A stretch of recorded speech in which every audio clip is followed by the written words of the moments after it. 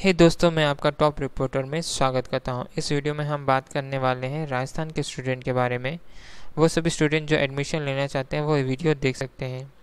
आप सभी को पता होगा कि राउंड वन का अलॉटमेंट जो है, वो ख़त्म हो चुका है और वह सभी स्टूडेंट राउंड टू की अलॉटमेंट का इंतज़ार कर रहे हैं। आपको पता ही होगा कि रूल्स एंड इंस्ट्रक्शन में दिया गया है कि राजस्थान में एक बार जो रजिस्ट्रेशन करा लेता है, उन्हें उनका दोबारा नहीं होता मतलब राउंड टू का रजिस्ट्रेशन नहीं होता।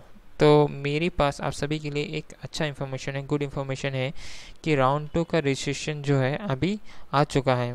कि आप ऑफिशियल वेबसाइट में देख सकते हैं R H J U medical dot दो हज़ार अठारह डॉट ओ आर जी यहाँ पर आप न्यूज़ एंड इवेंट में आप देखेंगे, यहाँ पर एक इन्फॉर्मेशन आई है। Registration shall be open from fifteen seven two thousand eighteen to nineteen seven two thousand eighteen till eleven forty five P M यानी आप आज से आज पंद्रह तारीख, पंद्रह जून से आप अपना फिर से रजिस्ट्रेशन करा सकते हैं।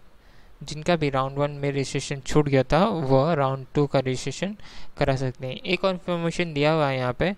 Round one registration registered candidate round one registered candidate need not be registered again मतलब जो राउंड वन में जिनका भी रजिस्ट्रेशन हो चुका है, उनको दोबारा रजिस्ट्रेशन कराने की लिए आवश्यकता नहीं है।